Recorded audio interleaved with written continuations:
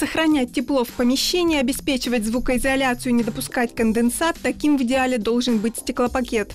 Увы, даже пластик и резина имеют свойство деформироваться и сохнуть. Для того, чтобы в будущем избежать проблем, связанных с этими особенностями, рекомендуется дважды в год проводить профилактические работы. Сейчас самое время. В первую очередь, говорят специалисты, пора снять москитные сетки и вымыть окно, не только стекла, но и все остальные элементы конструкции – профили, откос и подоконник. Далее хорошо очистить небольшой щеткой расположенные снаружи окна влагоотводы. Тогда вода в рамах не будет задерживаться.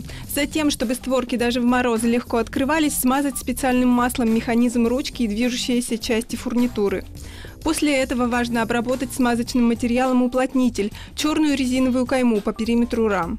Это уплотнительная резина, она очень высокого качества, но, как любая резина, она имеет свое определенное свойство, и это старение. Для того, чтобы это предотвратить, ее промазывают.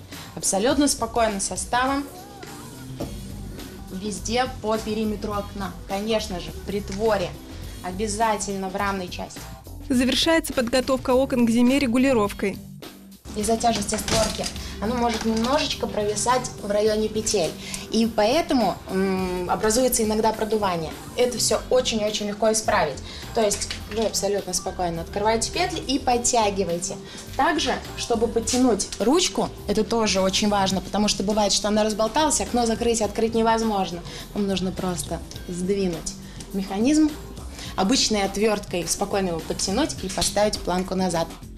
Стоит учесть, что на купленное в специализированном магазине окно, как правило, действует трехгодовая гарантия. В этот период возникшие проблемы с окном решает сервисная служба.